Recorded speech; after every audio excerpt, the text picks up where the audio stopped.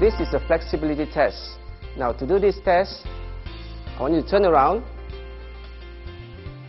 Raise your hand up like this. Okay. Now your eyes, you look at your thumb. Okay. Slowly turn to your left as far as you can, as far as you want. And see how far you can go. Is that the maximum you can go?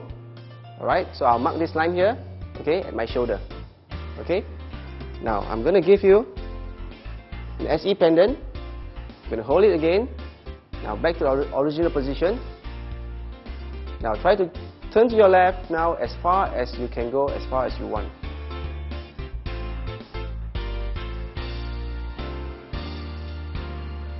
Wow, that's amazing.